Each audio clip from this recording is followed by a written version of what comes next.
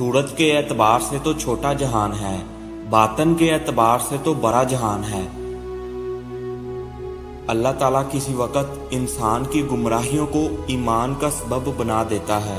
एहसान और इबादत के नतीजे में इंसान गुमराह होता है।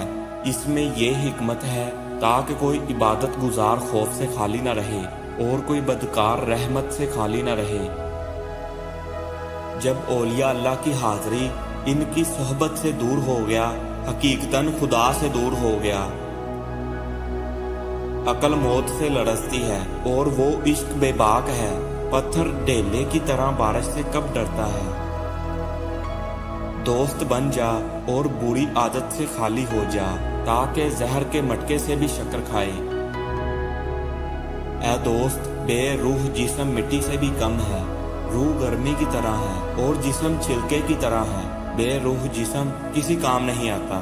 ए खरे कोशिश से जान हासिल कर। तेरा जिसम जहर है और वो रूह बहुत पोशीदा है। परिंदा जाल में से दाना कब चुगता है? जाल में अगर दाना चुगे, वो जहर जैसा है। गाफिल परिंदा जाल में से दाना चुगता है, जिस तरह अवाम दुनिया के जाल में से। अक्लमंद दुनिया में नेमत खाता है, ना के गम। जाहल नदामत से महरूम रहते हैं। अगर कोई खूबसूरत और हसीन चेहरा आपके सामने आ जाए तो वो आपके दिल को मुतासर करेगा। लेकिन अगर कोई अच्छी सीरत वाला सामने आ जाए तो वो आपकी रूह को मुतासर कर देगा। अगरचा तू शेर है, जब तू बगैर रहनमा के सफ़र तय करेगा, लूमड़ी की तरह गुमराह और जलील होगा।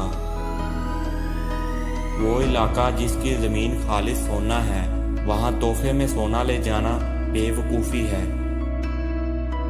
चलाकी और धोखे की फ़िक्र मत करो, अगर कोई आपको जाल में फंसाने की कोशिश करेगा और तुम्हें तकलीफ़ पहुंचाएगा तो अल्लाह ताला भी इनको जाल में फांसेगा।